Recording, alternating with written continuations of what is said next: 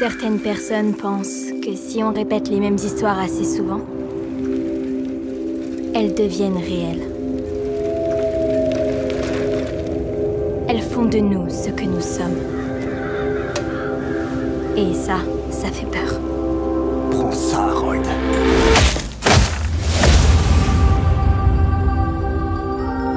Tu veux voir une maison hantée?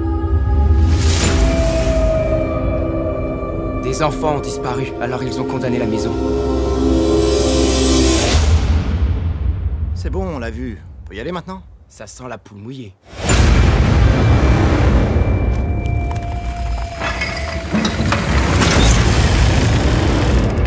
Qu'est-ce que c'est? Un recueil d'histoires effrayantes.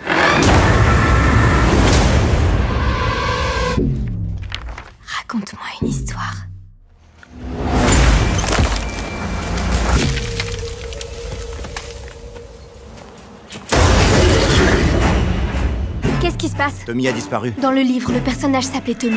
C'est forcément une coïncidence, non Et si ce qui se passait dans le livre se passait aussi dans la vraie vie Oh mon dieu Oggy Stella Tu es dans la prochaine histoire. On est en train de la lire.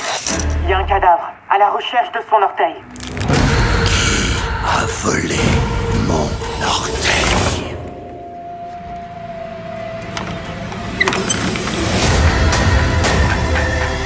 J'ai peur qu'on ait déclenché quelque chose. Ce livre, vous n'auriez pas dû le prendre. Il faut qu'on l'arrête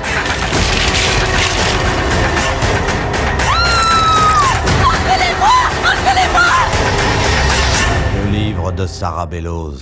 Ces histoires s'écrivent toutes seules et ensuite elles deviennent réelles.